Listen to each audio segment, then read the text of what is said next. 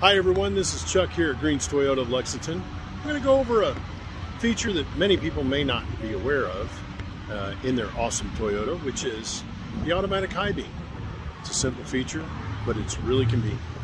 I am in one of our beautiful Camry SEs, and we're going to show you uh, where to find the automatic high beam, how to set it, and what it does. So down to the left of the steering wheel, we can see that we have this A with a headlight kind of symbol.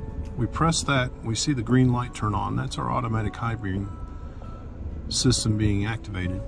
And then up here on our light uh, control stick, we're going to turn it to auto.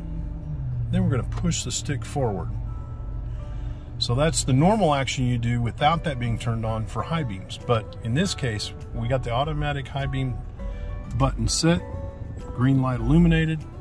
We've got our lights set on auto with the stick pushed forward. And what that does, it now allows the automatic high beam system to manage your lights for you. So during the day, it will have daytime running lights.